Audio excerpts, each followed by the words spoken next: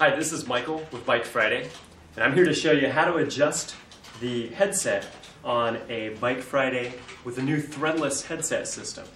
So when I refer to the headset, we're talking about the bearings here at the steering of the bike. There's a lower cup, an upper cup, and then this piece right here that's right now loose, this is the expanding spacer that adjusts the preload on the bearings.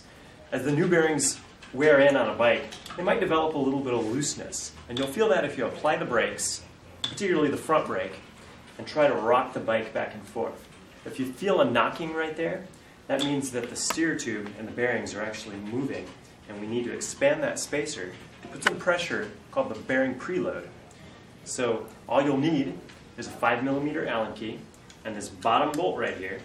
Turn it clockwise to tighten that bolt expands the spacer, and puts some preload on the bearing.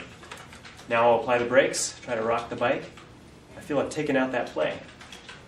Now, if you go too far, if you were to tighten this bolt too far, you'll start to feel quite a bit of resistance in the steering. So our goal is to find the adjustment point where is just taken out the play and there's nice smooth action on the headset. I do also want to point out that right above this expanding spacer, there's a clamp. This is a fixed clamp. It should not be adjusted.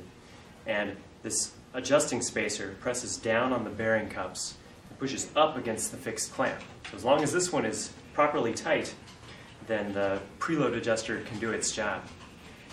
Well, that's all there is to it, so thanks for watching.